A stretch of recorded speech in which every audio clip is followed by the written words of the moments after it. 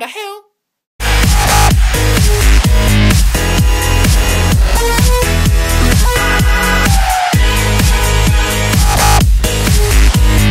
What's up guys, it's Kanye West 215 here with a card review. Now I feel obligated to make this review because this card has been getting a lot of hype leading up to Cosmo Blazer, and I feel like it's very appropriate to do a card review on it. The card is Breakthrough Skill. Now the only way we can really evaluate this card is by comparing it to cards such as Fiendish Chain and Effect Veiler. So let's start off with the sexy Effect Veiler. Now I'm not really sure if I should be calling this card sexy exactly because um, I'm not really sure if this is a male or female, to be honest with you. Um, it has long hair and it has wings. Like, I mean, which what freaking guy has wings besides Shining Angel? You know, that guy's a pussy. And where's the titties, man? Where's the titty? Huh? Huh? Okay, be- before I get way too uh, off topic here, just uh, drop a comment if you know this is a female or a male. Uh, so yes, that would be the good. Anyways, getting on to the analysis here. Um, it's a light target, so you know, pretty. It's pretty light. You know, it's just a piece of paper essentially. So it has good synergy with Chaos decks, and also it's a tuner, so it opens up all those synchro plays that make this card so sexy. One advantage of Effect Veiler over Breakthrough Skill and Fiendish Chain is that you can use it first turn, and that is very important because it stops those first turn plays such as Rescue Rabbit and Magician Shark because having to have to deal with Laggia and Dolkka turn one is just horrible. And same with you know having to have to deal with four Xyz monsters, it, it just sucks. The only downside I would say of Effect Veiler is that you can only use it during your opponent's turn. So the yes. Now I want to talk about that card that is notorious for chaining them fiends. You know what I'm saying? Uh, yeah, look at that poor fiend, freaking chained. Oh my god. Anyways, um, yes, this card is very good because not only does it stop effects, it also stops the monster from attacking. And the downside, I would say, is that it's a continuous trap card. Now, that could be good because it continuously negates the um, monster's effect and also uh, stops it from attacking, but it's also very susceptible to MST and with a format like right now, and probably next format too, where triple MST is running around, this card is um, particularly susceptible.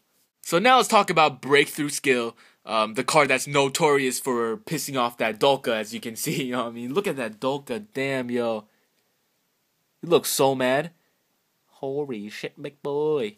Okay, anyways, um, I'm just gonna read you the effect. Actually, you know what? Asian Boy's gonna read. Target one face-up effect monster your opponent control. Negate the effect of the opponent face-up monster until the end of the turn. During your turn, except the turn this card was sent to the graveyard, you can banish this card from your graveyard to target one face-up effect monster your opponent control. Negate that target effect until the end of this turn. So sexy! Now, the first effect of this card is just pretty much like an effect veiler, except it's a little worse because it's a trap and it can get negated. But the second effect is what makes it very good. Um, so if this card's in your grave, you can banish it, and it can really get rid of problematic cards. Keep in mind, you can only activate this effect during your turn.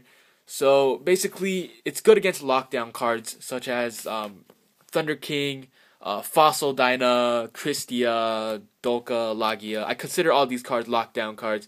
Um, they really hinder your play, such as uh, you know Thunder King, for example. Uh, if you have Rescue Rabbit or something in hand, this card would say no. But Breakthrough Skill say no to Thunder King.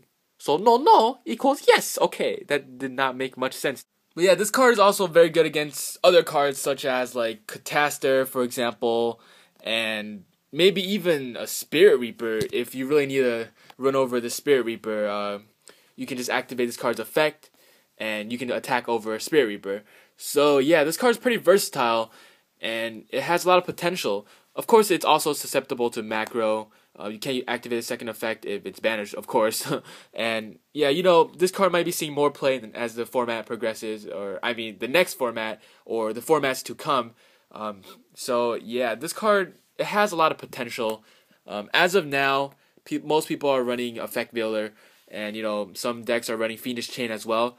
But this is one card to um, look after, and you know you guys can start testing it. It could be seeing a lot more play um, in the next format or maybe the formats uh, after that.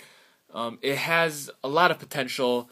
Um, as of now, people are running Effect Veilers, and some decks are still running Fiendish Chain as well. And, you know, right now we can all start testing Breakthrough Skill and make that Dolkka pissed, you know what I mean? So, uh, yes.